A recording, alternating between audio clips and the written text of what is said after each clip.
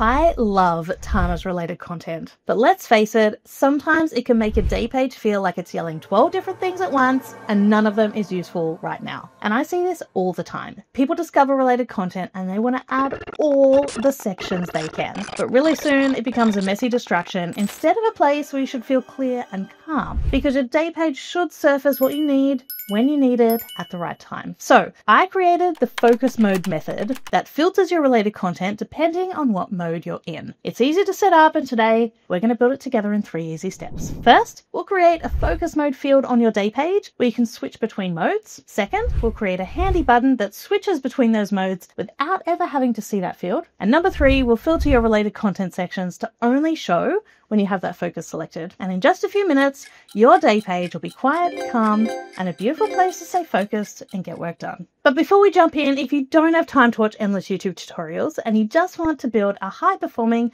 digital workspace that works harder than you do, then check out my Tana Fast Track course. It will get you up and running in Tana fast. First, you'll learn all the fundamentals in less than an hour. Next, you'll choose from our six core workflow templates that are simple, plug and play. There's not 86 super tags to deal with. You choose what templates you need to customize your workflow. And you also have our TFT community to ask questions and get direct help from me, plus a load of other resources. Over 500 people have already taken Tana Fast Track and loved it. So if you want to get on the fast track, I'll leave a link in the description below. And now let's get into the video.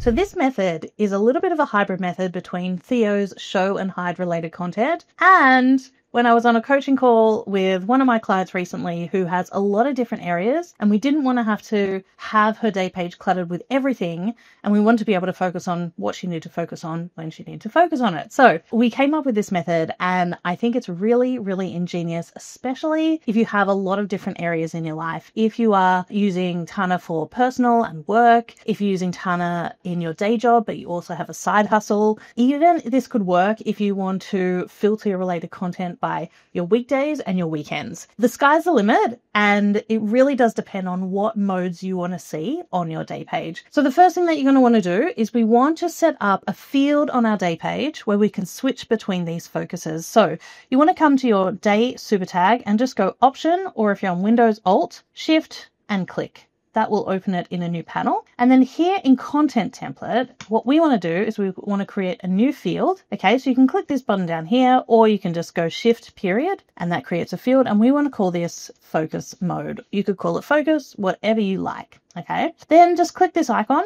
and turn this into an options field. And then here in predetermined options is where you want to list all of your modes. So for this one, I'm just going to put personal and work. But you could list as many different modes as you need here in the options. And while you're here, you want to come down and hide field. You want to go always.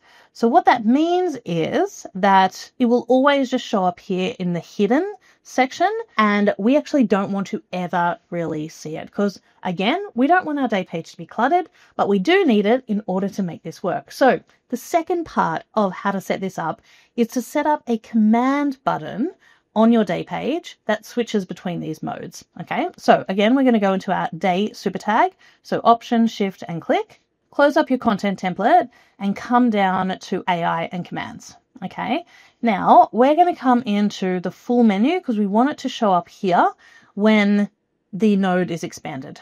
Okay, so Firstly, we're going to create a group and then we're going to create our commands within that group. And that basically means that you'll have a drop down where you see each of the modes and you can switch between them. Okay, so first thing is let's just call this focus for now. You're going to go Command K and type in group and convert to group. Okay, then you can open this up and you'll see a little box surrounding it. And this is where we can put our commands in. Okay, so the first command is going to be personal. We're just going to type personal and we're going to convert that to a command. And this command, we're going to add the module. So if you go at here, uh, we are going to set a field value. Okay. Now in this configuration, and let's just open this just a little bit more.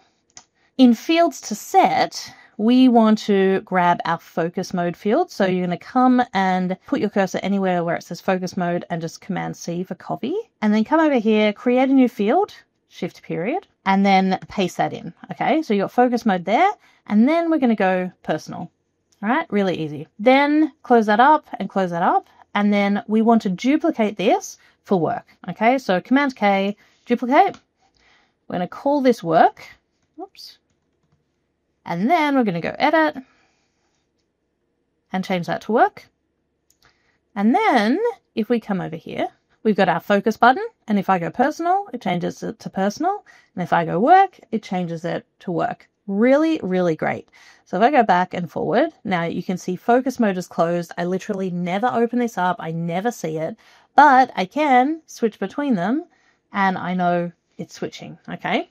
Now we've got that working, but we now need to tell Tana what related content sections that we want to show or hide in which focus mode. Okay. So to do that, we are going to add a node filter to our related content section. So if you close up this AI and commands and open up advanced options, you can see your related content.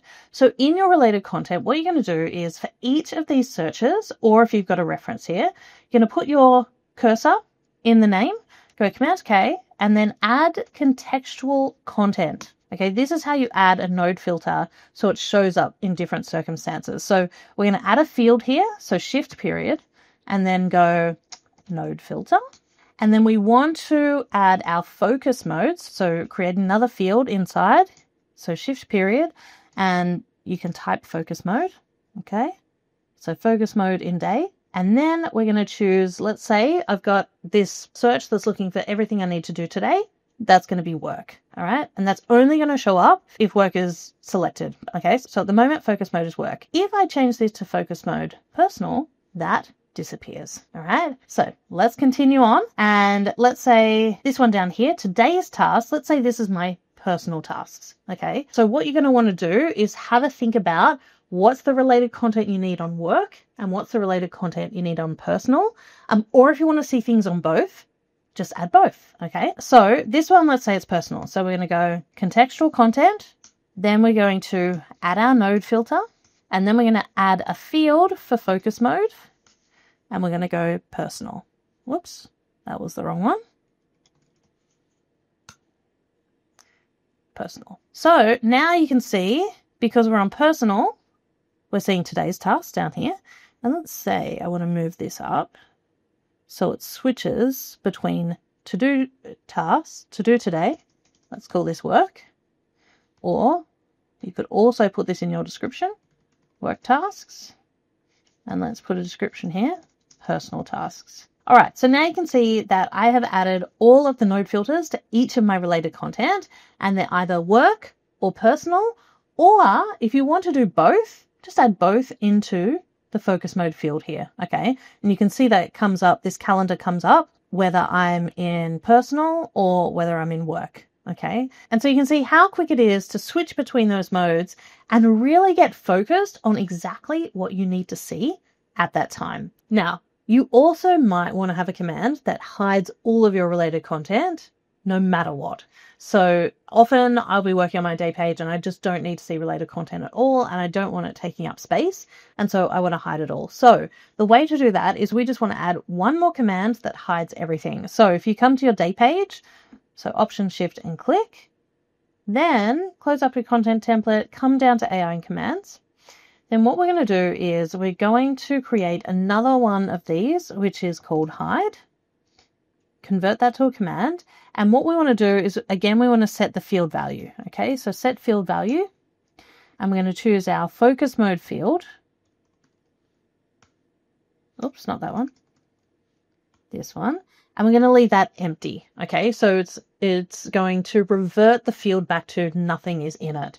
And so what happens then, because all of our related content is set to show only, when a focus mode is work or personal, then when you set this to nothing, you get nothing on your day page. But as soon as we go back to personal, we're seeing personal. As soon as we go back to work, we're seeing work. So it's really quite easy to get this set up. And like I said, you can apply this to any kind of modes that you want. Okay. So if you've got different areas that you work in throughout the day, if you've got different roles that you have in your job, if you are in mum mode and then in work mode or in dad mode and work mode or in family mode, whatever it is, set these up and you will be able to get exactly what you need on your day page when you need it. Now, I hope you can see that this method of related content is kind of like having a cake and eating it too. Now, you can have all the related content you want, but it shows at exactly the right time. And speaking of daily nodes, if you want to see how I structure mine,